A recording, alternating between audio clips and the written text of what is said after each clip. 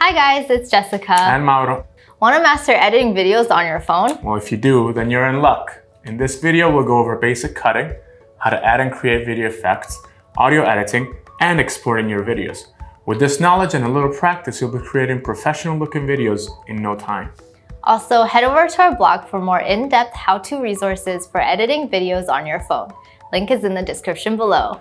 And if you haven't tried out the PowerDirector app, you can download it for free in the Play Store and App Store.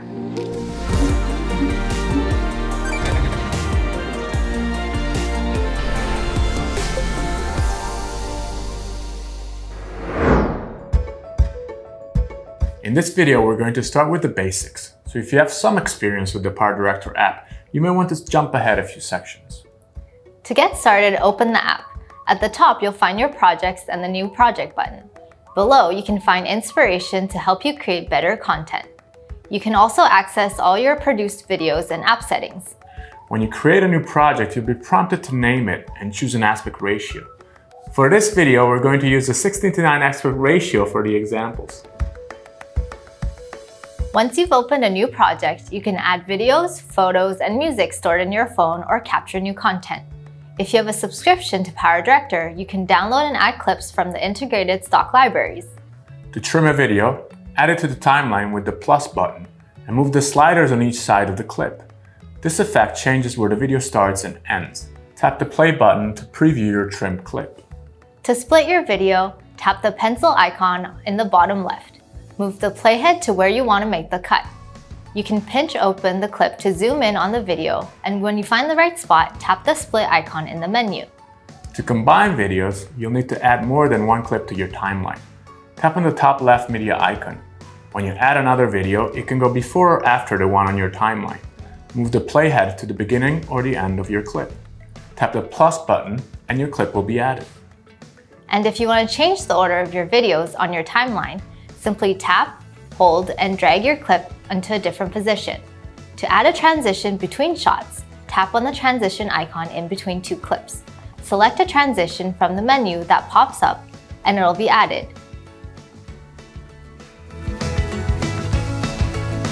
Now let's add a pan and zoom into one of the clips.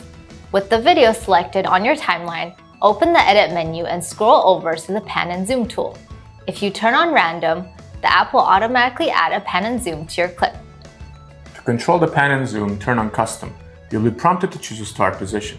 Pinch open and close or move the clip around to set the pan and zoom starting position. Then tap on end position and set where you want your pan and zoom to end. Once everything is ready, you can either tap play to view or tap back where you can apply the pan and zoom to all clips on the timeline. Make sure to click OK in order to apply the effect. You can always go back and readjust your custom pan and zoom or remove it by turning on no effect. Adding titles to video is pretty crucial. To add text and titles to your project, click the layers icon on the left. You can choose from default title and motion graphic titles. We're going to go over using the default title and customize it. Add the default title to the timeline with the plus button. If there's a clip in the top track, the text will appear over it. You can move, extend, or shorten the title clip to your desired length. Tap the clip and the title in the preview window to change what the text says. You can manipulate the font style, size, color, transparency, and alignment in the title designer. Create a keyframe animation by adding a keyframe, then moving further down on the timeline and changing the title settings. Keyframes can be used on images and videos as well.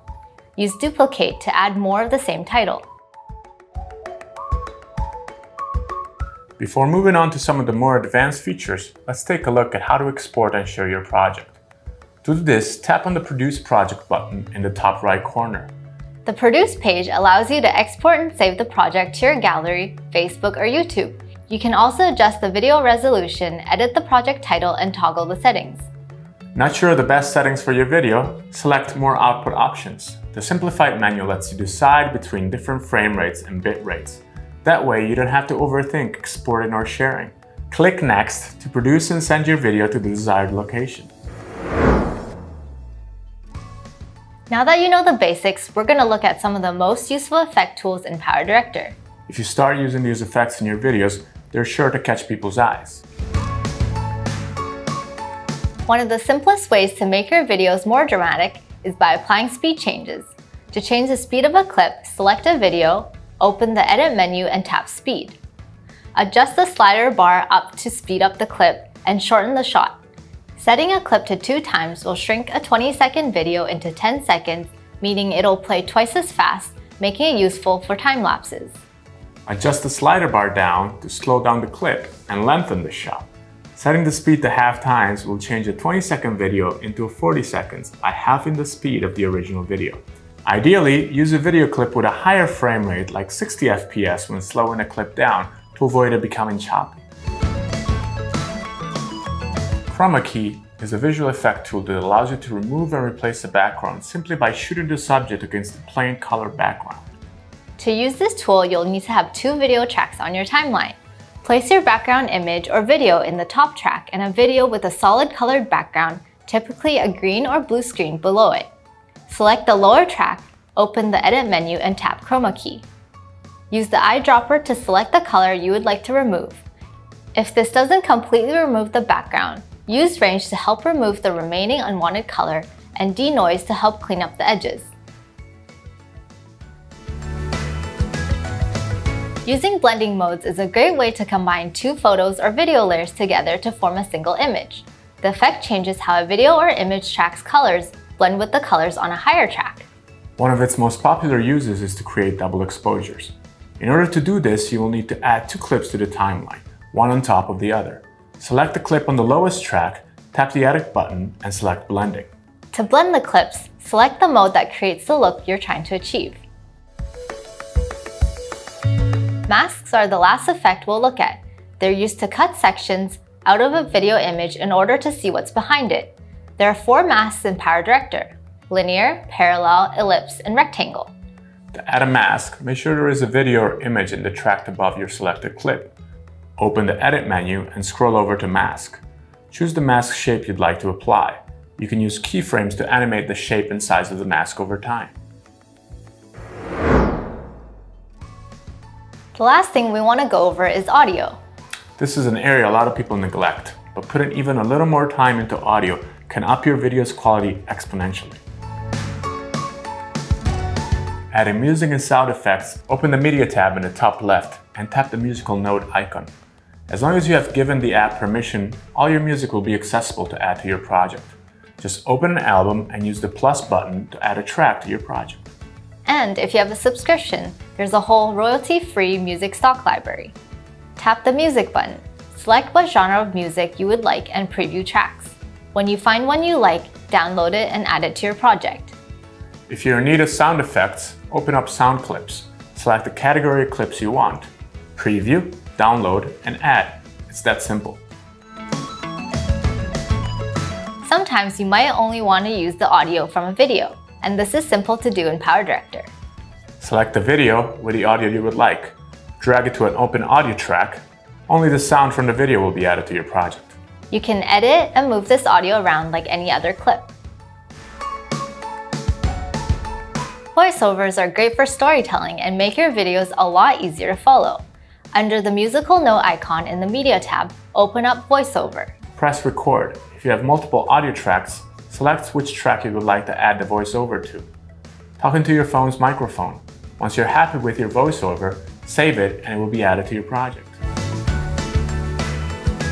The level of your audio tracks and how you mix them together can make a big difference between having an enjoyable video to watch or something people will want to turn off because they can't hear what they need. To set the volume of an audio track, select and open the Edit menu. Open Volume. You can manually lower and raise the volume of the track with the volume bar. If you want to have the volume change over time, add a keyframe where you want the change to start. Move further along in the track and change the volume. Or you can easily add keyframes to create a fade in or a fade out. In the audio mixing menu, you can set each track's volume in relation to the others, as well as the overall master track's volume of the project. PowerDirector has recently added some audio tools. There's now a voice changer you can use when editing your audio. Just open Audio Tools and Voice Changer. Select how you would like to change the voice and play back to hear the transformation. If you filmed with unwanted noise around, try out the Denoise tool. Adjust the appropriate strength with the sliding bar. Now that you know how to edit videos on your phone, it's time to get out there and practice. In no time, you can become a master of video editing. For more awesome how-tos, check out our blog and other videos.